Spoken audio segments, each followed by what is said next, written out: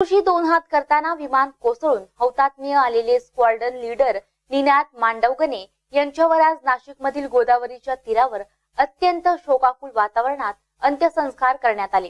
त्याआधी त्यांचे पार्थिव डीजीपी नगर एक के के वाघ शाळेजवळील मैदानावर अंत्यदर्शनासाठी ठेवण्यात आले होते.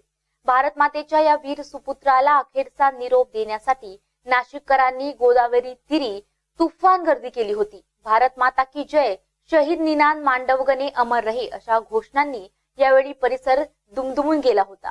काश्मीर मधील बडगाम येथे निनाद यांचे मिग ट्वेंटी वन हे विमान कोसळले होते. त्यात त्यांचा मृत्यू झाला होता. त्यांच्या मृत्यूची बातमी समजताच लखनौ येथे असलेले त्यांचे आई वडील पत्नी आणि मुलगी हे नाशिकला पोहोचले.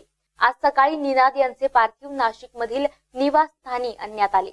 निनाद यांच्या अंत्यदर्शनासाठी नाशिककरांनी गर्दी केली होती. सैन्य दलाकडून हवेत फैदी झाडून निनाद यांना मानवंदना देण्यात आली. त्यानंतर अमरधाम येथे त्यांच्यावर अंत्यसंस्कार करण्यात आला. निनाद यांना निरोप देताना कुटुंबियांना आश्रू अनावर झाले होते.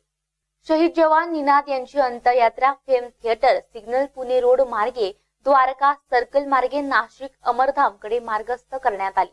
यानंतर त्या ठिकाणी शासकीय इतमामात त्यांना शासकीय बँड पथक तसेच हवेत फायर करून मानवंदना देण्यात आली.